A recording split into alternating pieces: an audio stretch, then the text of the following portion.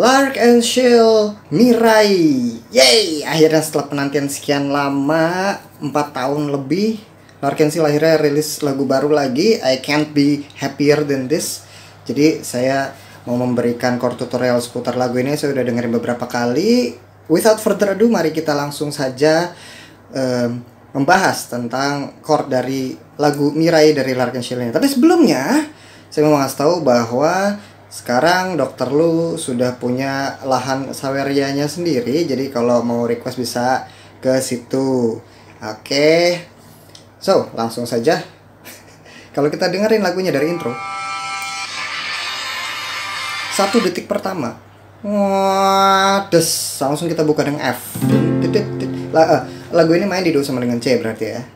F itu membuka sebagai empatnya kita buka dengan F lalu kita ke G. F lagi. Lalu ke A minor. Segitu dulu. Jadi ada empat chord yang kita ketahui di situ ya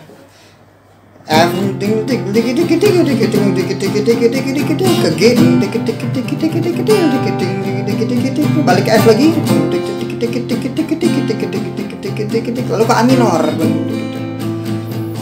nah pertama-tama saya mau bahas dulu uh, banyak sekali komen dari netizen yang bilang lagu ini disama-samakan dengan Hari Christmas Padahal kalau menurut saya lagu Mirai ini sebenarnya kalau kita mau sama-samain sama beberapa lagu lagu yang lain sebenarnya nggak cuma Hari Christmas.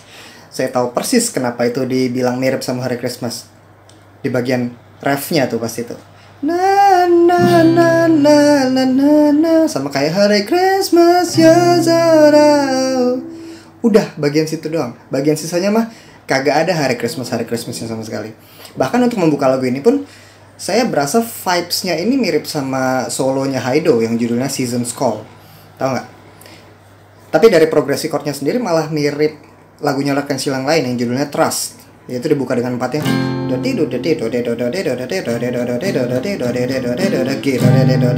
Bedanya trust ini main di uh, kunci dasar lain main di G kalau nggak salah deh. Kalau kalau Mirai kan main di C gitu. Oke okay. uh, empat chord tadi itu uh, juga sekaligus untuk mengiringi selama verse. Verse-nya kan seperti itu. La la F la la la la G la la la la saya belum tahu liriknya by the way jadi saya nana-nana aja. La la F lagi. La la la la A minor la la la la nah itu untuk verse gitu. Kita masuk ke part berikutnya yaitu yaitu pre-refnya. Da da da da da. Ini mendadak ada kunci ada chord yang agak-agak menyimpang di sini. Sebenarnya saya tangkap itu sebagai F minor tapi low-nya atau bass-nya itu di gis gitu. Tapi kan ribet ya. Kalau kamu kalau kita mau bantai langsung ke gis aja. Bisa, tapi agak-agak terlalu terlalu aneh sih. Kalau kita banting aja ke F minor aja gimana?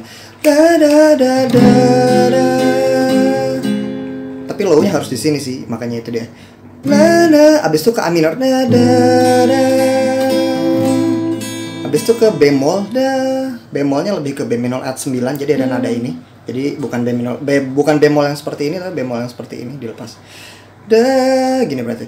Da da da. Tahan bemolnya sampai kita masuk ke ref. Da na na. Itu part lain lagi nanti. Kita review dulu sedikit. La da F bam bam bam lagi da da da da da. La F lagi. La la la la la. A minor la la la la da da F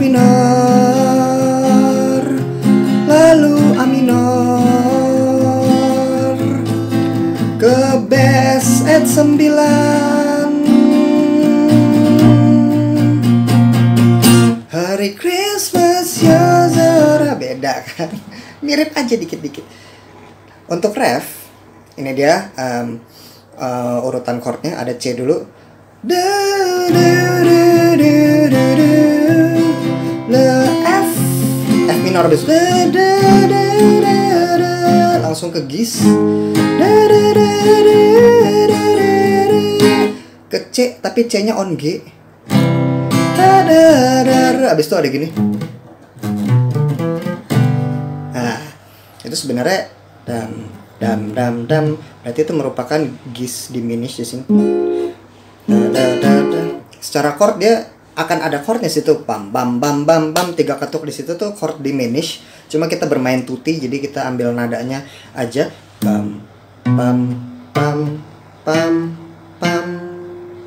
Gis nadanya ya. Gis B D E F. Langsung tembak G jreng kita ulang dikit. Mungkin saya terlalu cepat menjelaskan. D C D D D D. D F. F minor. Da da da. Ke gis da da da da da ke C on G. Da da. Ke sini. Seperti itu. Kecepatan nggak? Lanjut aja dulu ya. Referen paruh berikutnya. La sama sih pengulangan. Da da da da da. Gis lagi. Ke C on G lagi. Da da A minor. Da da da D minor. Da da da F minor. Mirai C ya. Kalau kata-katanya sih Mirai E tapi chordnya Mirai C. Kalau Mirai E Mirai E. Kok jadi nggak masuk karena lirik tidak bisa disamakan dengan chordnya. Gitu. Oke selesai sampai ke, ke ref situ berarti kita sudah menyelesaikan separuh lagu ya. Kalau separuh aku itu Noah. Kalau separuh nafas itu Dewa. Ini baru separuh lagu. Habis itu lagu akan balik ke atas lagi sebenarnya. Kita masuk ke ke bagian verse lagi berarti chordnya akan mengulang seperti seperti verse tadi. Masuk ke verse lagi berarti ah ah ah ah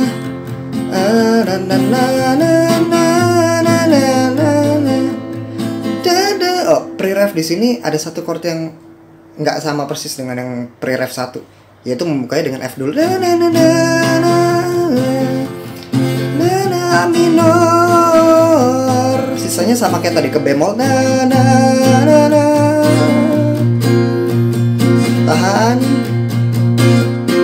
lagi. La da da da da la. Saya demonstrasikan ulang bagaimana memainkan refnya. Na na F. La F minor. Na na na ke gis na na na du, du, du, du. C on G. Na na ke diminush tadi pam pam pam pam. G C lagi. Na na na na ke F. F minor